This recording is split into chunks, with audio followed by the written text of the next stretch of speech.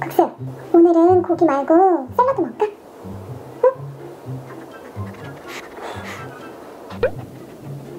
야, 야.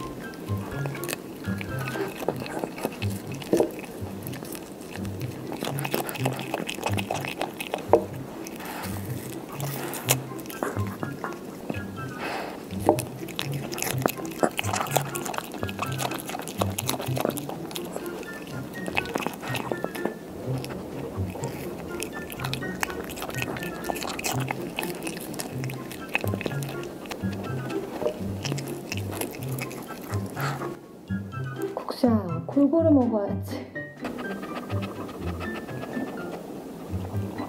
Yeah.